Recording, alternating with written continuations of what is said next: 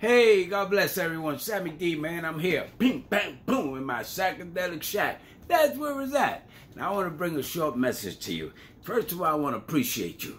Watching my videos, some of you press like, give me a thumbs up. Others give me a thumbs down. I appreciate you too. It's all the same. It comes with the territory. It doesn't bother me. I'm doing it as unto the Lord. And he gives me two thumbs up.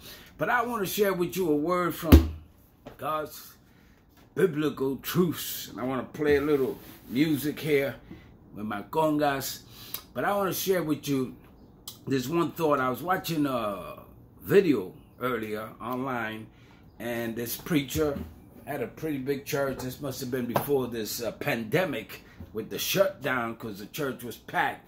But he was preaching against the act of homosexuality. And I agree with what he said because the Bible does not condone it. It condemns it. It says it's a sin. God is against it. He created Adam and Eve, man and women in marriage. But my problem with his message, although I agree with what he was saying, it was truthful.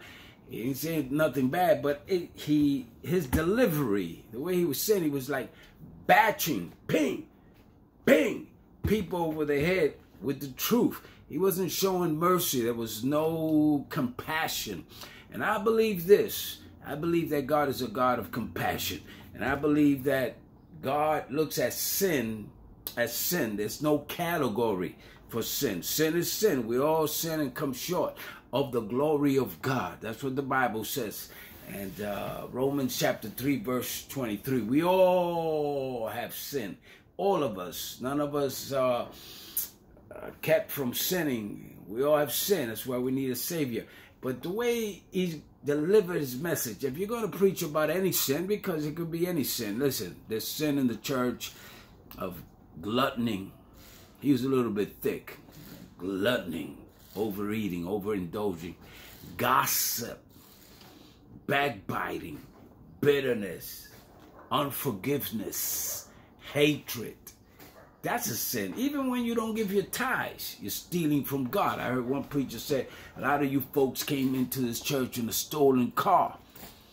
You're wearing a stolen suit. Everybody's looking around. I ain't stealing no car. Well, if you stole from God to buy your car, you didn't give your tithe, you stole from God. That's what the Bible says. When you don't give your tithe, you're stealing from God. Malachi. You the book of Malachi. You're stealing from God. So you bought that car with God's money, so it's stolen. I understand his logic. But uh, if you're going to preach about a particular sin, preach it in love. You should have a broken heart because people in sin will go to hell if they don't repent. And there's nothing funny or fun about that. So I'm going to preach with a broken heart.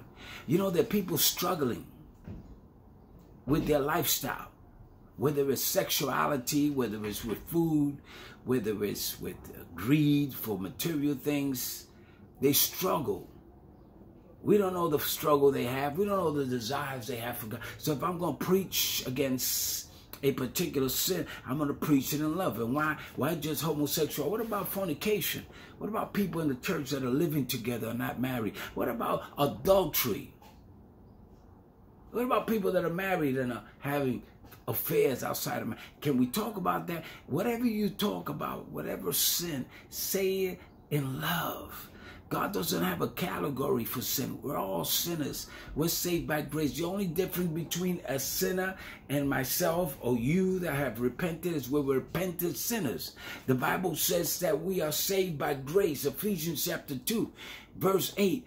We are saved by grace, not from our own works, but because of faith in Jesus Christ, the grace of God. So if I'm going to preach against sin, I'm going to preach with a broken heart knowing where I came from, knowing God forgave me. And there are people out there that are struggling, and there are people that do not know the Lord that will come to know the Lord.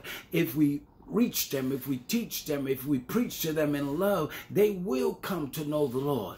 And God will transform them and use them. I remember some years ago when I was with Teen Challenge, David Wilkerson, the great late David Wilkerson, the founder of Teen Challenge, he testifies I was sitting right there when he says that he was coming down from his room to preach to a group of youth. And he said he was going to come down on them and hit them hard with the word.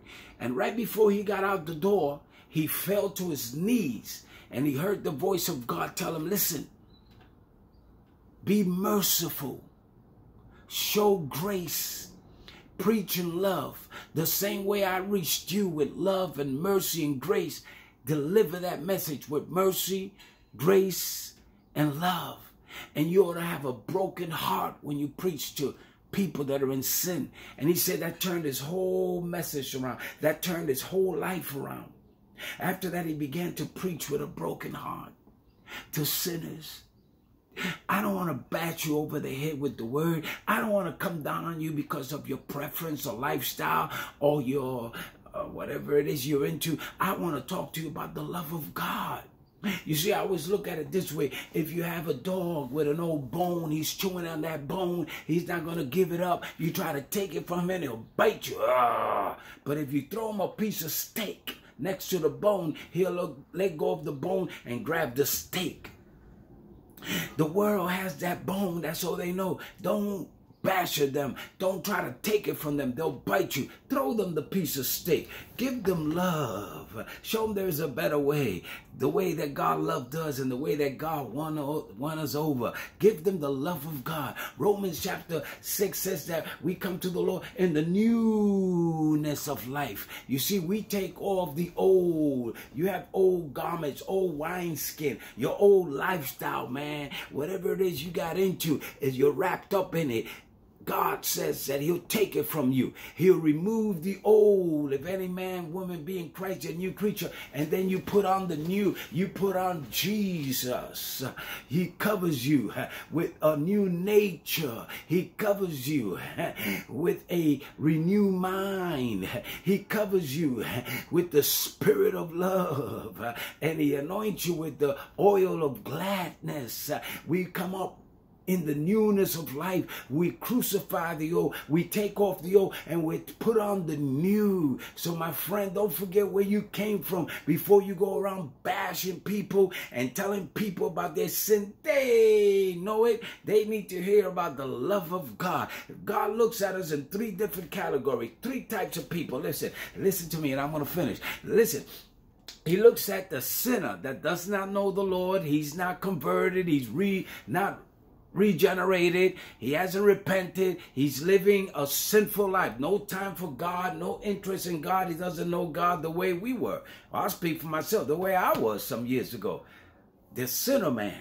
And then, or the carnal Christian.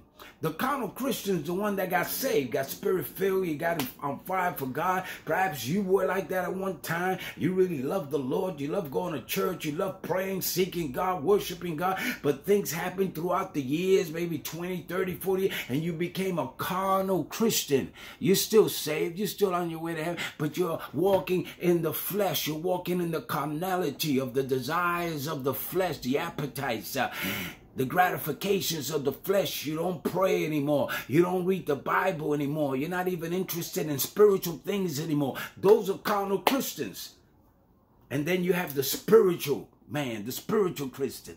The spiritual Christian is hungry for God, has an appetite for God, wants to pray. His lifestyle is worship and praise uh, and uh, seeking the face of God, uh, hearing the music of the Lord, uh, uh spiritual music, psalms and hymns, uh, going to church. Uh, he knows there's three enemies the world, the flesh, and the devil himself. And the spiritual Christian, he prepares himself for battle and he stays on fire for God. And that's what God wants from you and I to be spiritual Christians, to walk in love, to walk in the joy of the Lord, to walk in the fire of God. Uh, this is a daily thing. You have to seek the Lord every day. You have to get closer to God every day. I've been saved 42 years. I want to be a spiritual Christian because God's called me to lay hands on people, to prophesy, to pray for people. I cannot do that if I'm walking in the carnality or the flesh desire. I got to do that in the spirit because the Bible says that the spirit wars against the flesh. Uh, so I want to walk in the fruits uh, and in the gifts of the Holy Spirit. The Bible tells me in chapter 8 of the book of Romans, for the law, listen to that, for the law of the Spirit of life in Christ Jesus has made us free from the law of sin. Did you get that? The law of the Spirit of Christ, the spirit of life in Christ has made us free. You're free from the law of sin. I don't have to walk in sin. I don't have to be bound to sin. I don't have to give in to sin because the law of the spirit of life in Christ Jesus has set me free from the law of sin. Listen to this here. Romans chapter 3, verse 23. We know this. For we all have sinned and come short of the glory of God. But listen to the next one. I like this one. Being justified freely by grace through the redemption that is in Jesus Christ. We all have sinned and come short of the glory of God.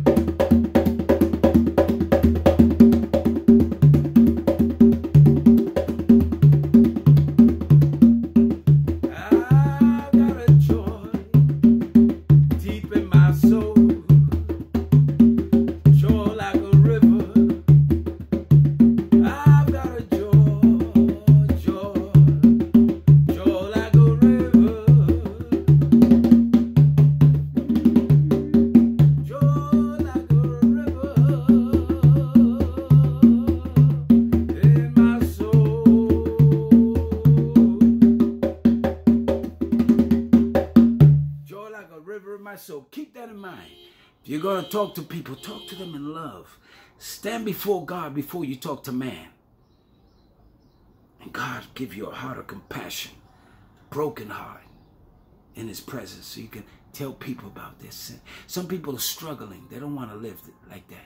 I know when I was on drugs, I didn't want to do drugs. I didn't know any way out till I met Jesus. There are people that are struggling in all kinds of areas of their life. They don't want to live like that and miserable. It's you and I that can come with the spirit of love to reach them, to tell them about the love of God. Okay? God bless you. Father, in Jesus' name, I pray for everybody listening right now. Bible touch, heal, and deliver. in Jesus' name, amen. God bless you, man.